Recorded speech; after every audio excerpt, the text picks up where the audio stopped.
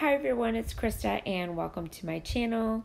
Today I am participating in a um, series called Try It Tuesday.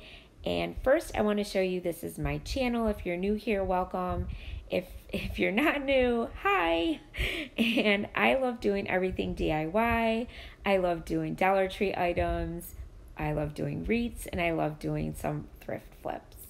So this is hosted by Unicorn Dust Designs. Her name is Sammie, and I will have her link down below to her channel. You definitely got to check her out. She is an awesome DIYer.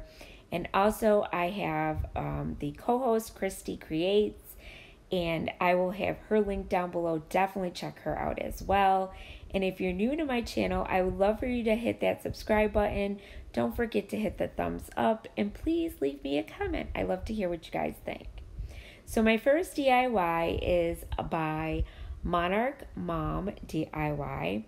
And this Try It Tuesday is all about trying out other crafters DIYs for ourselves and just trying them out. So what she did is she took some shutters and um, she made a patriotic like type of shutter. So that is what I am doing here. And I got the I got these from my local thrift store Goodwill, and I took some antique wax and I went over it with that first, the Waverly antique wax, and then I just painted it and then I wiped it down so you could see that natural wood come through.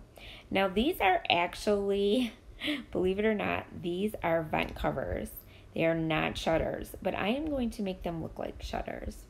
So I took some of my blue and my red and my white Waverly chalk paint and I made a flag looking um, shutter with them and I used ocean blue, crimson, and then the white.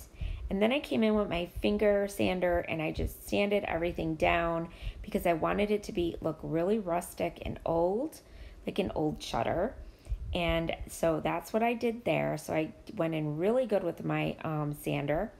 And then I had some of these um, wooden um, stars and I just painted them white so I could stick them in the top blue section of my shutter.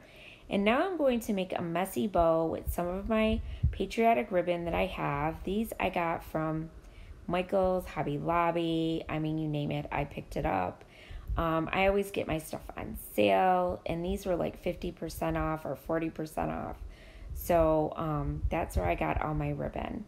And then I had this beaded, beaded um, garland that I got last year, I think, when it was like 70% off. They had this left over, and I just um, popped some of that in here as well. And all I'm doing is crisscrossing and doing like a messy bow. I am not a good bow maker, so these are the type of bows I like to make. They're super simple.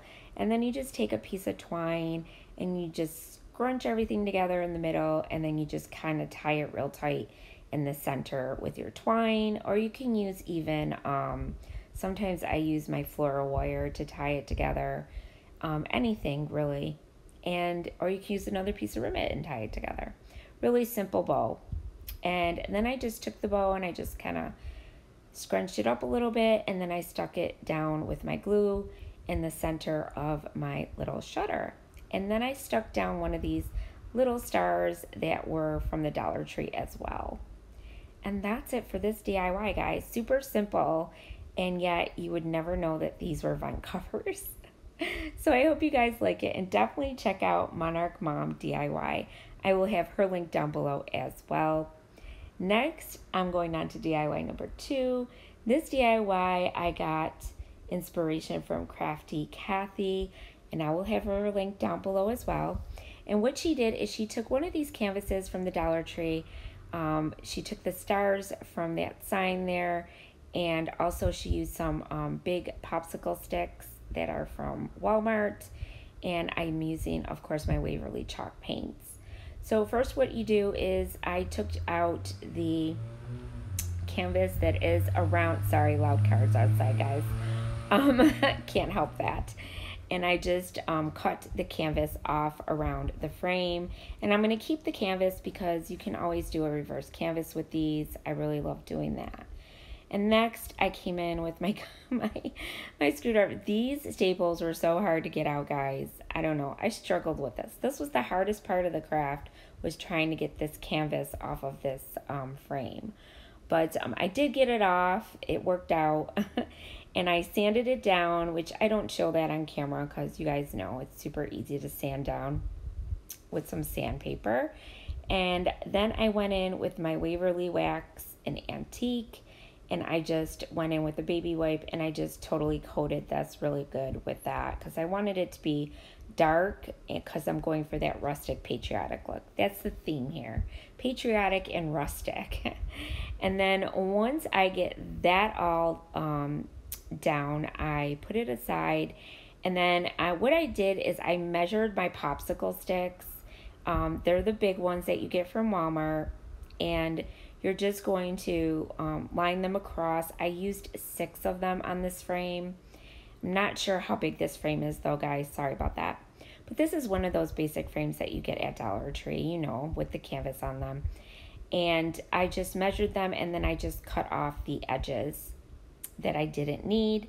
And then I went in with my Crimson Red by Waverly and also the White by Waverly and I painted three in red and three in white because we're going to alternate them and I just glued them to the back of the frame. And sorry that footage got cut out somehow. I don't even know how. But then I took these solar flowers and what I did is I painted them with some of that blue ocean chalk paint by Waverly and then the crimson. And I just kind of dry brushed them on the edges of the petals just to make them look red white and blue as well. Then I took those metal stars off of that off of this um, uh, picture frame from the Dollar Tree and I painted those with the blue ocean. And then I went in with my Waverly wax and I just kind of dry brushed on top of that love sign that I got from Hobby Lobby and also the um, metal stars. And then what I did is I raised this up a little bit with some cardboard so it kind of stuck out a little bit from my frame, for my picture frame and then I just glued everything down. I glued down the stars in each corner, but I mean, you can make it any way you want to, and it just turned out so cute, you guys. I absolutely love how this one turned out. And then what I did is I decided to make a little messy bow with some twine. So I went in with this blue and white twine from the Dollar Tree and then that red and white.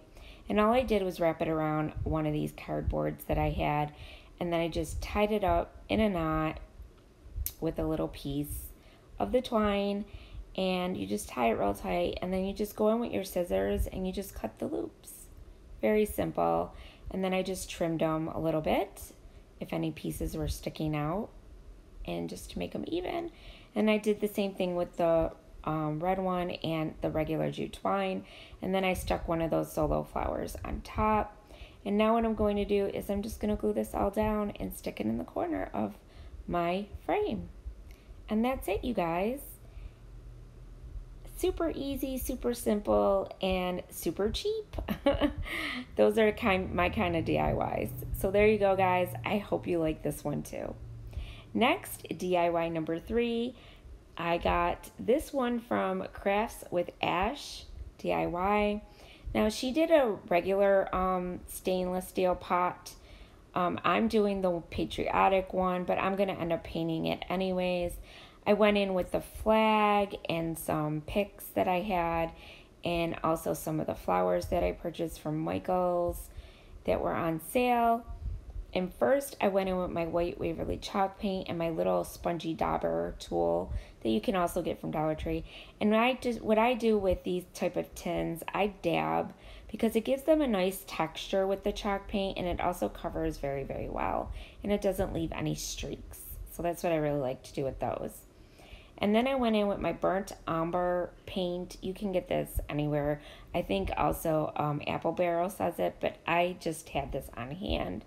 And what I do is I go in and I dab it with my sponge, my makeup sponge with my little clothespin and I just dab around the edges, make it look rusty.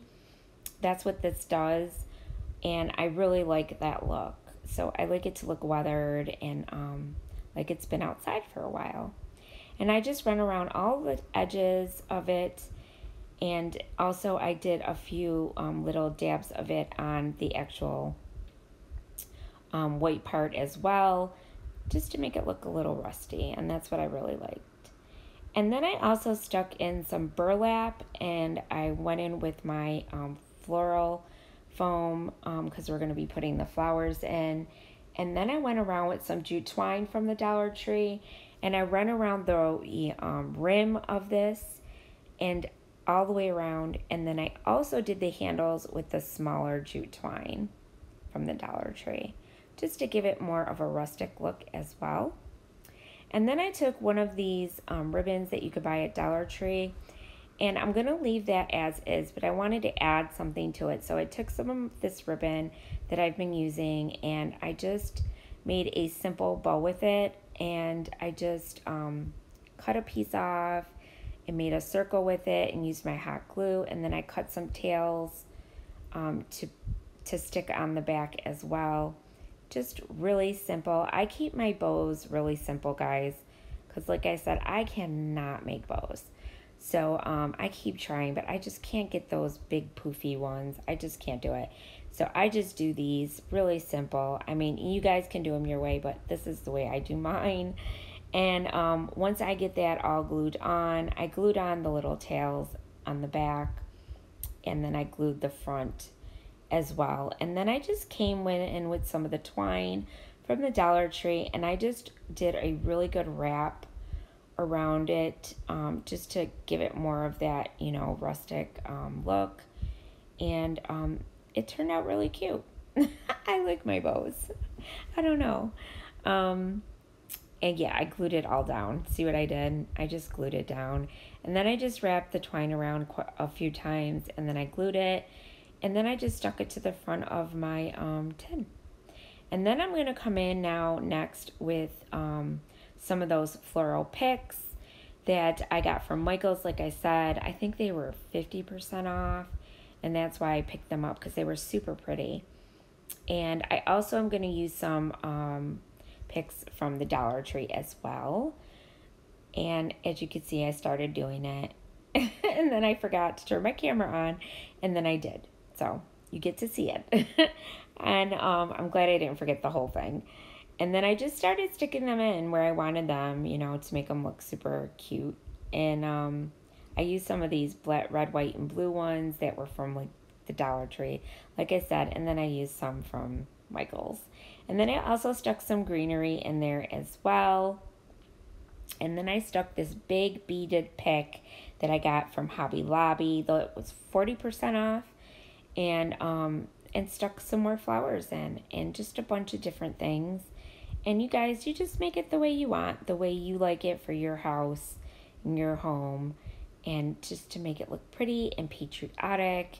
And I think this turned out super cute and it was super easy to make, guys. And there it is. So I hope you guys like it. I hope you guys like the video. And um, if you do, I would love you to subscribe. Just hit that red subscribe button. I am going to have everybody's links down below. And make sure you check out Unicorn Dust Designs by Sammie and also Christie Creates. And I want to thank them for allowing me to join. And I want to thank you all for watching. And remember, stay crafty. Bye.